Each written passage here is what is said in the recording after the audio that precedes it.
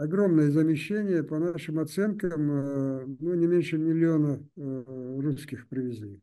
Ну, не обязательно этнических русских, там и чеченцы, там и представители разных национальностей, но граждане Российской Федерации.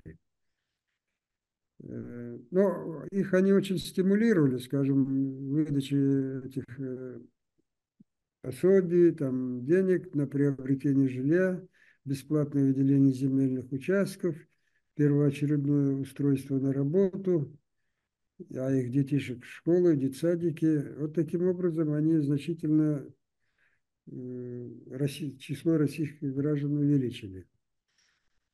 В то же время пропаганда говорит, мы вот такие там огромные стройки, столько жилья построили. Да, жилье построили, но они эти жилье обычно достается только вот тем новым переселенцам из Российской Федерации.